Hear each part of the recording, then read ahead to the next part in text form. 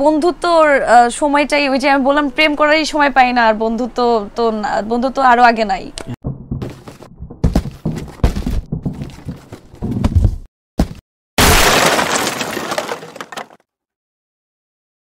অমিতাভ রাজা সিনেমা পেলে করতে চায়। সিনেমা পেলে। হ্যাঁ এক্স্যাক্টলি উনি ওর খুব ভালো বান একটাই বানাইছে মনে হয় না আহ, এটা এটা আসলে গল্পের প্রয়োজনে যদি রিক্সাতে ঘুরেই নাটক শেষ করতে হয় তাহলে তাই হবে। তো আমাকে যে বলল যে পায়েল এই ডায়লগটা যেমন ওই দিনও আমি কারেকশন দিচ্ছিলাম যে ভাইয়া মাল এই কথাটা বলো তুমি। আচ্ছা বলছে মানে ওই স্ক্রিপ্ট আছে। স্ক্রিপ্ট আছে। আমি আমি কিন্তু আগে খেয়াল করিনি যখন আমি ডায়লগগুলো পড়ছিলাম। আচ্ছা। যখন আমি অন সাইটে দেখলাম যে এই ধরনের ডায়লগ আমি বললাম ভাই এটা আমি পারব না। এটা আমার এই কথাটার মুখ দিয়ে বের- হবে না। আমি অ্যাভয়েড করি। যারা আমার কাজ দেখে পাবে না ওরকম হোপফুলি মেবি পাবে না। মেবি মানে বাজি বাজি রাখতে পারো না না না বাজি রাখতে চাই না।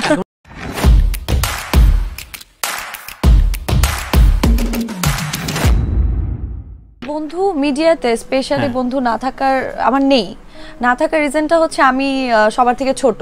নায়িকাদের থেকে মানে যেই নায়িকারা এখন কাজ করছে বয়স মেপে বন্ধুত্ব হয়। না মানে হয়েছে কি মানে তাদের মেন্টালিটির সাথে আমার মেন্টালিটি ম্যাচ করে না। তো আচ্ছা। আমি বয়স অনুযায়ী কিন্তু মানুষের মেন্টালিটি আমার মনে হয় যে চেঞ্জ হতে পারে নাও পারে। মানে আমার তো বন্ধুত্বর সময়টাই ওই যে আমি বললাম প্রেম করারই সময় পাই না আর বন্ধুত্ব তো বন্ধুত্ব আরও আগে নাই। ক্ষতি বলতে সময় দিতে হয় প্রেমে। দিতে হয় কথা বলতে হবে সময় মতো তারপর আচ্ছা, আচ্ছা। হচ্ছে একটু সময় দিতে হবে মাঝে মাঝে কফি খেতে যেতে হবে। সো ওই সময়টা এখন আচ্ছা, নেই। কারণ পড়াশোনা এত চাপ থাকে আবার। সাথে ক্যারিয়ার আমি আরও ছয় মাস আগে কাউন্ট করেছিলাম তখন একশোর কাছাকাছি কাজ করার পর দেড়শো রকম প্রেম তুমি শিখে গেছো। যেহেতু হ্যাঁ এতগুলো নাটকে হ্যাঁ। না? দেড়শো রকম প্রেমের। সো তোমার কাছে কি মনে হয় যে তোমার অডিয়েন্স মূলত কি ধরনের কি টাইপের গল্প তোমাকে দেখতে পছন্দ করে? যারা দর্শক আছে আমি আম, আমি যখন ডিফারেন্ট কোনো ক্যারেক্টার করি যেটা আমি না সবসময় যে ধরনের কাজ করি তার বাইরে যদি কোনো একটা আনকমন ক্যারেক্টার করেছি ওইটা যখন দর্শক দেখে আমাকে যারা পছন্দ করে তারা অ্যাপ্রিসিয়েট করে। ওইটা বেশি দেখে। আর এছাড়া রেগুলার পায়েল যে নাটকগুলো করি ওগুলো তো দেখেই। এটা পায়েল এটা রেগুলার পায়েলকে দেখতেছি।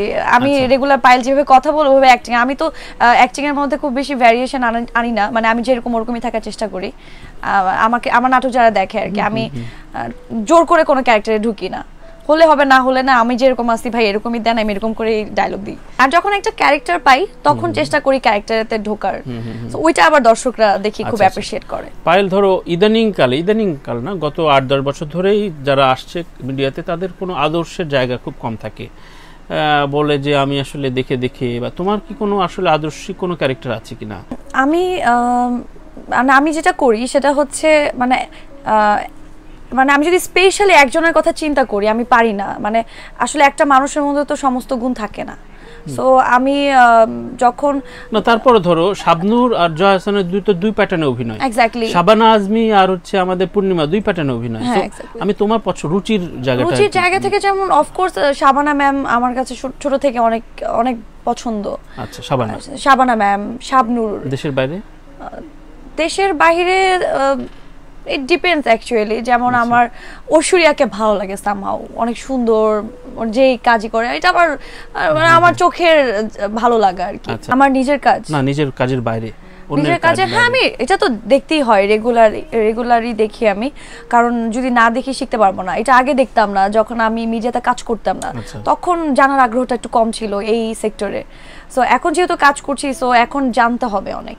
না জেনে আসলে কাজ করাটা টাফ আর্টিস্টরা আমার যারা কো আর্টিস্ট আছে তারা অ্যাপ্রিসিয়েট করে মানে সামহাও তারা অ্যাপ্রিসিয়েট করে যদি কোনো কাজ ভালো লাগে বলে। এখন যারা কাজ করে রেগুলার যারা নাম বলো।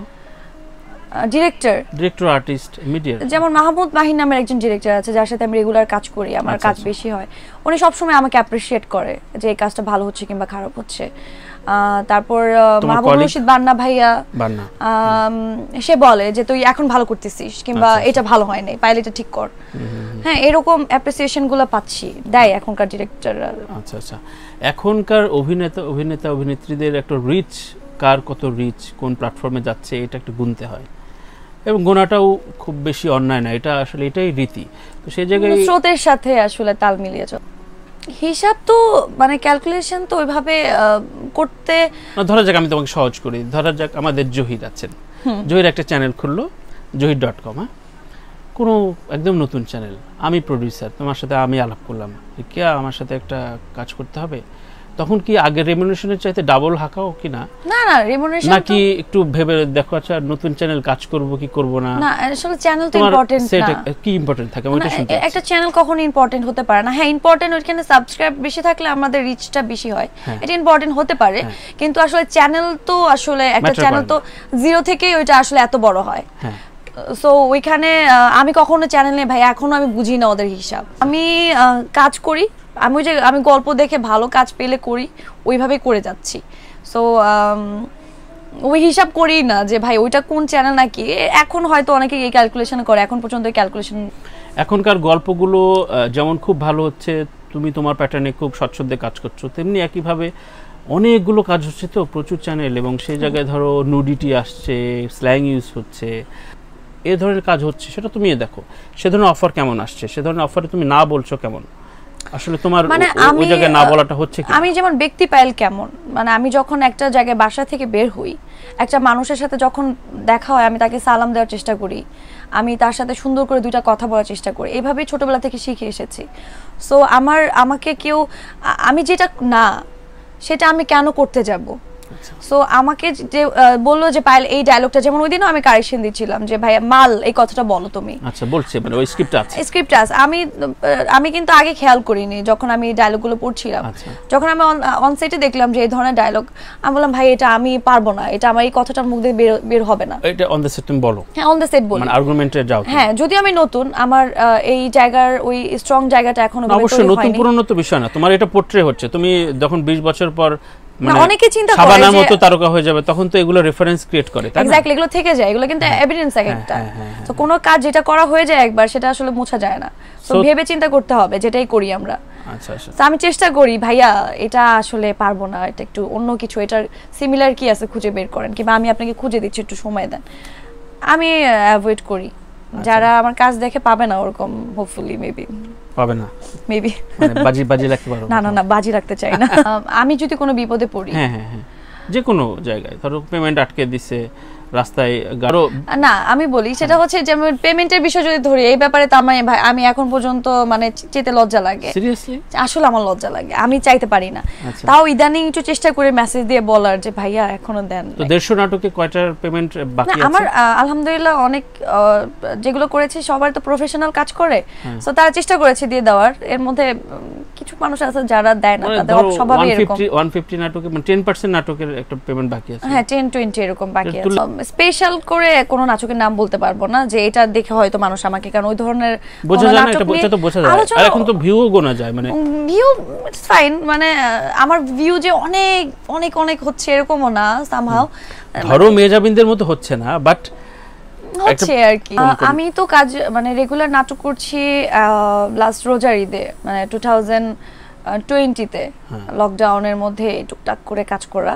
তখন প্রথম রোজায় যখন আমি বেশি কাজ করলাম তখন হচ্ছে কাজের পরিমাণটা সংখ্যায় বেশি ছিল অনেকেরই কম ছিল যারা রেগুলার কাজ করে কারণ তারা কাজ করেনি। তো আমি তো লাইফ রিক্স নিয়ে কিছু কাজ করেছিলাম ওই সময়। লাইফ রিক্স মানে লাইফ রিক্সই তো মানে কোভিড সব জায়গা দিয়ে লকডাউন ভাবলাম যে পাহাড় থেকে ঝাঁপ না লাইফ রিক্সি সামহাও মানে ওই কাজগুলো অনেকগুলো কাজ ওই ঈদে অন ইয়ার যায়। সো ওই ঈদটাতে একটু বেশি করা হয়েছে। ঈদ করে আমি আবার কোয়ারেন্টাইনে চলে গেছিলাম অনেকদিন। কারণ আমারও তো ফ্যামিলি আছে আলটিমেটলি ওই সময় একটু করা হয়েছিল কয়েকটা প্রজেক্ট ওই প্রজেক্টগুলো আগে থেকে লক ছিল। সো সাহস করে করেছিলাম। আমি সিরিয়াল করিনি। একটা করেছিলাম মেগা সিরিয়াল তাও এটা বেশি দিন লাস্ট করেনি চ্যানেল আয়ের সাত ভাই চম্পা। আচ্ছা ওইটা জাস্ট শুরু করলাম। তখনই হচ্ছে ওনারা সামহা ওনাদের আহ, কারণে ওরা অফ করে দিয়েছিল। সো সিরিয়ালটা না করার রিজন আমার যেটা আমার হ্যাঁ, রিজন সেটা হচ্ছে আমি তো পড়াশোনা করি পড়াশোনা এখনও শেষ করিনি।